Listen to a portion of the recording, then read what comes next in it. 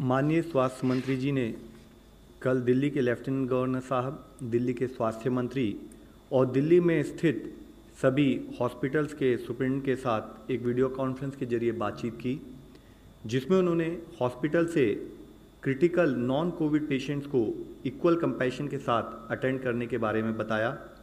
उन्होंने कहा कि हॉस्पिटल्स को वॉलेंट्री ब्लड डोनर्स को बढ़ावा देते हुए ट्रांसफ्यूजन के लिए सफिशिएंट ब्लड स्टॉक बनाए रखना चाहिए।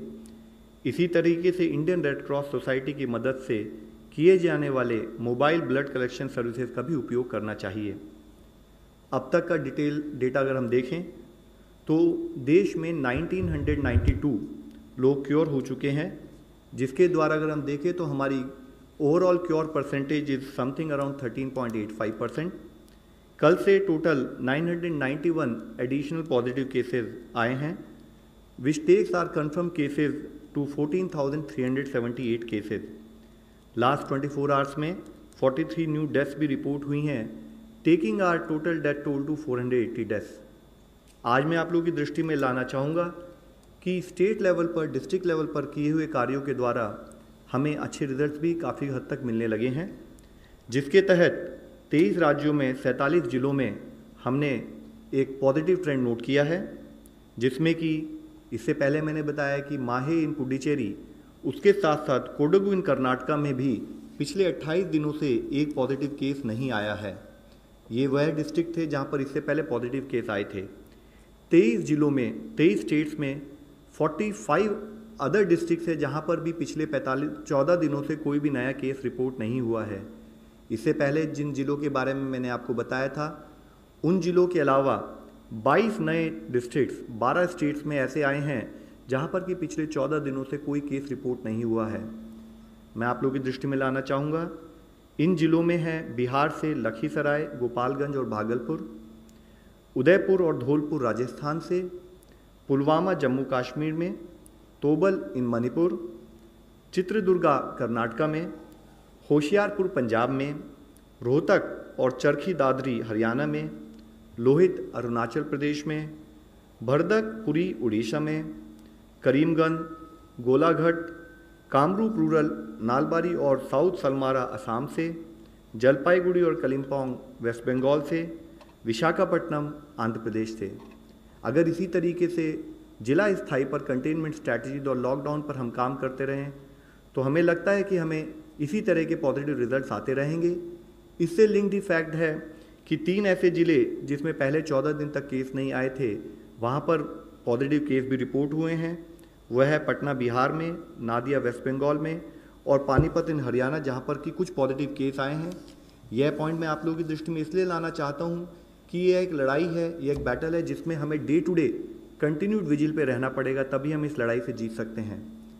डेथ का जो डिटेल्स आई थी, अगर हम उसको एनालाइज करें तो हमने देखा है कि हमारे देश में मॉर्टेलिटी करीब 3.3 परसेंट पाई गई है। जिसमें अगर एज वाइज एनालिसिस करें तो पाते हैं कि zero to 45 five years age group में 14.4 परसेंट ऑफ़ पीपल वहाँ पर डेथ नोट की गई है। 45 टू 60 परसेंट में 10.3 परसेंट सिक्सटी टू 75 में 33.1 परसेंट और 75 ईयर्स एंड अबव में 42.2 परसेंट तो यानी कि हम देखते हैं कि 75.3 परसेंट केसेज जो हैं, वह 60 प्लस उम्र के लोगों में डेथ नोट की गई है। इसी तरीके से कोमॉर्बिड कंडीशंस के बेसिस पे एनालाइज करें तो हम देखते हैं कि 83 परसेंट केसेज में कोमॉर्बिडिटीज़ भी पाई गई हैं। यह मैं आप लोगों की दृष्टि में इसलिए लाना चाहता हूँ क्योंकि इससे पता लगता है कि एल्डरली पीपल और पीपल विद कोमॉर्बिडिटीज़ वह हाई रिस्क केसेस में आते हैं। आज लॉकडाउन और सोशल डिस्टेंसिंग के बारे में जब हम बात करते हैं तो हर आदमी को सोशल डिस्टेंसिंग को फॉलो करना है क्योंकि उसके घर में अगर कोई बुज़ुर्ग भी हैं तो उसके द्वारा उनको भी इन्फेक्शन पास होने का खतरा हो सकता है। इसके साथ ही जैसे मैंने आपको बताया कि 14,378 पॉजिटिव केसेस जो आए हैं उसमें से 4,291 लगभग 29.8 परसेंट केसेज निज़ामुद्दीन मरकज़ क्लस्टर से सिंगल सोर्स से संबंधित पाए गए हैं, जिससे तेईस स्टेट्स और यूनियन टेरिटरी से इससे रिलेटेड केसेस पाए गए। मुख्यतः तमिलनाडु, दिल्ली, तेलंगाना, उत्तर प्रदेश और आंध्र प्रदेश जैसी हाई डिज़ीज़ बर्डन स्टेट्स में जो कि top ten states in terms of case loads हैं, वहाँ पर इस पर्टिकुलर इंसिडेंट से रिलेटेड केसेस पाए गए हैं। तमिलनाडु में चौरासी परसेंट केसेस दिल्ली में 63 परसेंट केसेज तेलंगाना में 79 परसेंट केसेज यूपी में 59 परसेंट केसेज और आंध्र प्रदेश में 61 परसेंट केसेज इस इवेंट से लिंक नोट किए गए हैं। इसके साथ ही मैं आप लोगों की दृष्टि में लाना चाहूँगा कि कुछ कम केसेस रिपोर्ट होने वाले राज्यों में भी इस इवेंट से रिलेटेड केसेस ने कंट्रीब्यूट किया। जैसे कि अरुणाचल प्रदेश में जो एक मामला आया है, वह इस इवेंट से रिलेटेड है। असम में 35 केसेस में से 32 केसेस, यानी कि 91 परसेंट केसेज अंडमान निकोबार में 12 में से 10 केसेस, यानी कि 83 परसेंट केसेज का सेम लिंक पाया गया। इस इवेंट को मैं आप लोगों की दृष्टि में इसलिए लाना चाहता हूँ कि सरकार की सलाह के अनुसार लॉकडाउन और सोशल डिस्टेंसिंग अगर कोई एक भी व्यक्ति पालन नहीं करता है, उसके पालन ना करने से देश के लिए कॉन्सिक्वेंसेज होते हैं। हमें सबको मिलकर यह इंश्योर करना है, हमें सबको मिलकर यह प्रयत्न करना है कि हम सोशल डिस्टेंसिंग से संबंधित दिशा निर्देशों का पालन करें डिज़ीज़ मैनेज करने के लिए लॉकडाउन से संबंधित डूज एंड डोंट्स को फॉलो करें। इसके साथ ही टेस्टिंग मेथडोलॉजी के केयरफुल रिव्यू करने के बाद आईसीएमआर ने नेशनल टेस्ट टास्क फोर्स की एडवाइस के तहत एक नया दिशा निर्देश जारी किया है, जिसको मैं आप लोगों की दृष्टि में लाना चाहूँगा। इसके द्वारा उन्होंने बताया है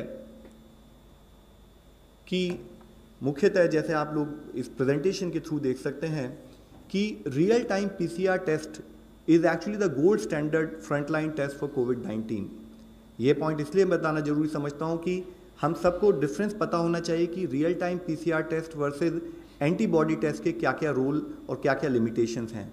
तो इसमें मैं बताना चाहूँगा कि रियल टाइम पीसीआर टेस्ट को ही हम कंफर्मेशन टेस्ट के रूप में मानते हैं। जो रैपिड एंटीबॉडी टेस्ट है, वह इस टेस्ट को रिप्लेस नहीं करता।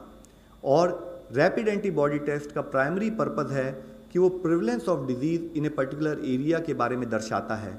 और इसकी यूटिलिटी जैसे कि इससे पहले भी अवगत किया गया है कि एंटीबॉडीज़ बनने में करीब मिनिमम सात दिन लग सकते हैं बॉडी में तो इसकी यूटिलिटी अगर कोई आदमी इन्फेक्टेड है तो सात दिन के बाद ही उसके सिम्टम्स आ सकते हैं।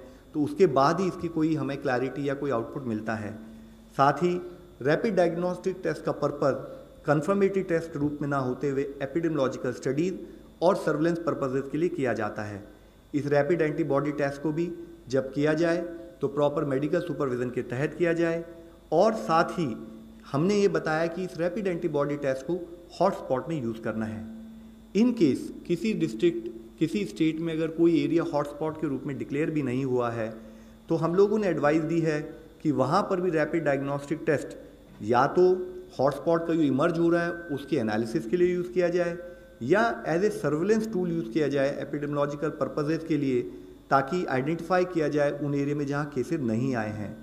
इसके साथ ही एक बहुत मुख्य इशू यह है कि रैपिड डायग्नोस्टिक टेस्ट वो सर्वेलेंस पर्पज से और एपिडेमोलॉजिकल पर्पज से जो डेटा हमारे सामने प्रस्तुत करता है, उसके तहत अगर हमारे को कोई पॉजिटिव केस मिले तो उससे रिलेटेड हमें कॉन्टैक्ट ट्रेसिंग और फॉलोअप के लिए ज़रूरी है कि वह टेस्ट की डिटेल भी ऑनलाइन पद्धति से स्टेट लेवल पर डिस्ट्रिक्ट लेवल पर और साथ ही नेशनल लेवल पर पहुँचे, जिसके तहत हमने आदेश ये दिए हैं कि जो भी रैपिड डायग्नोस्टिक टेस्ट करें, वह भी Covid nineteen C C dot N I C dot in oblique I C M R इस पोर्टल पर अपने आप को रजिस्टर करके उसके बाद ही इन टेस्ट का इस्तेमाल करें, ताकि इसके द्वारा मिली हुई इन्फॉर्मेशन को हम इस्तेमाल कर सकें।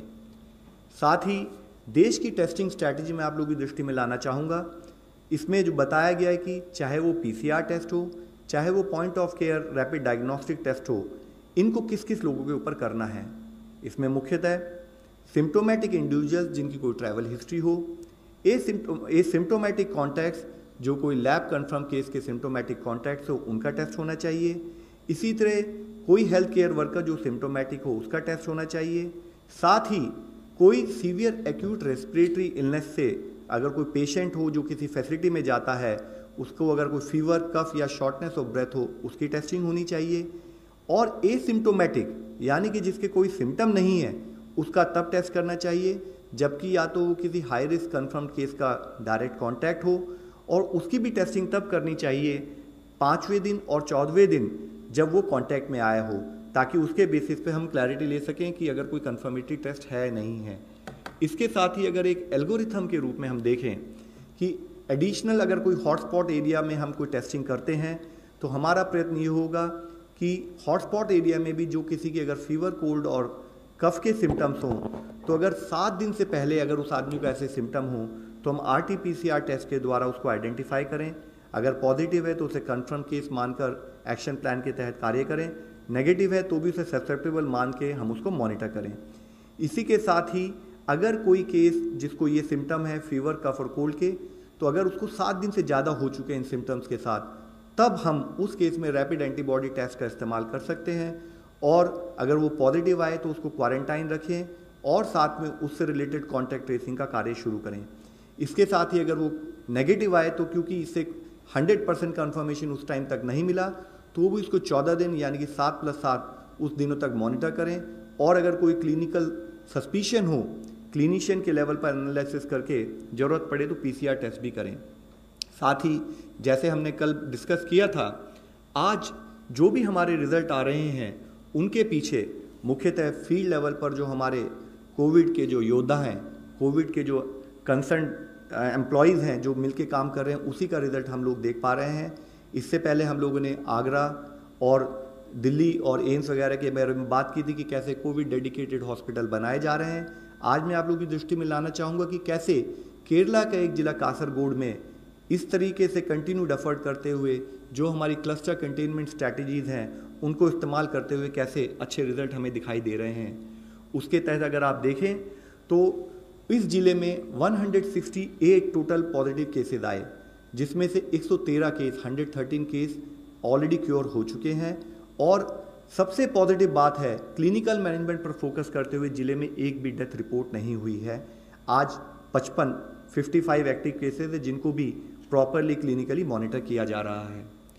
साथ ही अगर आप देखें इन टर्म्स ऑफ़ इसके क्या चैलेंजेस थे ज़िले के तो वहाँ पर अब्रॉड पॉपुलेशन अराउंड 15.38 परसेंट थी। थर्ड केस जो इंडिया में रिपोर्ट हुआ उसकी चाइना से ट्रैवल हिस्ट्री थी, उसको ज़िले में कंटेन किया गया मॉनिटर किया गया। सेकेंड वेव जब 16 मार्च से वेस्ट एशिया से जो इस ज़िले के रहने वाले लोग लौटे तो उसकी वजह से सडन स्पर्ट इन केसेस वहाँ पर नोट किया गया। काफ़ी चैलेंजेस थे। चैलेंजेस के रूप में देखें तो एक बॉर्डर डिस्ट्रिक्ट था स्टेट कैपिटल से दूर था जोग्राफिकली डिस्टेंट था मेजर टाउन से। साथ में इतने सारे लोग एनमास जब लौटे विदेशों से, जो एक्सपैट्रिएट तो वो किसी किसी एयरपोर्ट पर आए। किसी एयरपोर्ट से डिफरेंट मेथडोलॉजी से ट्रैवल करके रेल से रोड से वो ज़िले में पहुँचे तो उससे संबंधित कॉन्टैक्ट ट्रेसिंग उन सब केसेस में एक बहुत बड़ा चैलेंज भी था।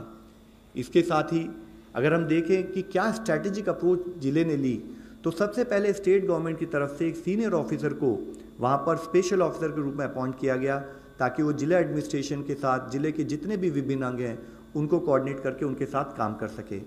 उन्होंने लैब के ऊपर फोकस किया उन्होंने हॉस्पिटल बनाने पर फोकस किया और उसके रूप में देखें तो जैसे कि हमारा क्लस्टर कंटेनमेंट स्ट्रैटेजी है तो उन्होंने उससे संबंधित इंसिडेंट कमांडर्स बनाए होम क्वारंटाइन किया उन लोगों को जिनकी ट्रैवल हिस्ट्री थी।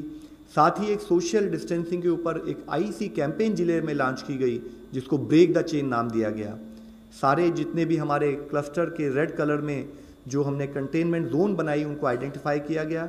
ड्रोन का इस्तेमाल किया गया टेक्नोलॉजी के रूप में सात ड्रोन को एम्प्लाई करके सर्वेलेंस के लिए यूज़ किया गया और जितने भी होम क्वारंटाइन के केसेस थे उनको जियो स्पेशल मेथडोलॉजी की तरह से ट्रैक कर दिया गया ताकि लोग होम क्वारंटाइन को फॉलो कर रहे हैं नहीं कर रहे हैं। इन सब चीज़ों को करते हुए इसेंशियल कॉमोडिटीज़ की किसी भी तरह से कमी ना हो उसके ऊपर भी जिला लेवल पर फोकस किया गया। इसके साथ ही अगर आप देखें तो जितने हमारे पॉजिटिव केसेस आए उससे संबंधित 17,373 जो प्राइमरी और सेकेंडरी कॉन्टैक्ट थे उनको ट्रेस किया गया। उनको क्वारंटाइन किया गया। डेली सैंपल्स पर फोकस किया गया। टेस्टिंग लैब स्टार्ट की गई।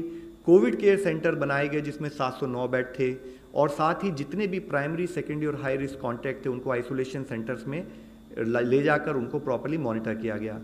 एक हॉस्पिटल को 200 बेड के हॉस्पिटल को, वहाँ पर हमने ऑपरेशनलाइज किया चार दिन के अंदर और एक आईसीयू फैसिलिटी भी बनाई। और साथ में हाउस होल्ड सर्वे के लिए जो हमारे फ्रंट लाइन हेल्थ वर्कर्स हैं, आशाज हैं और हेल्थ इंस्पेक्टर्स हैं उनके द्वारा हाउस टू हाउस सर्वे किया गया।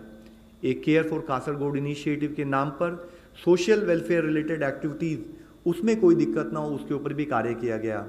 फ्री फ़ूड किट्स प्रोवाइड की गई पुअर और माइग्रेंट वर्कर्स को। ब्लैक मार्केटिंग होल्डिंग और प्राइस राइज को मॉनिटर किया गया। साथ में शेल्टर होम और कम्युनिटी किचन्स के द्वारा वहाँ पर इंश्योर किया गया, जो पुअर और डेस्टिट्यूट हैं, उनको किसी तरह की परेशानी का सामना ना करना पड़े। इसके साथ ही हेल्थ चेकअप किया गया, जितने भी माइग्रेंट और डेस्टिट्यूट से ऑल्टरनेट डे ताकि उनकी हेल्थ को भी मॉनिटर किया जा सके।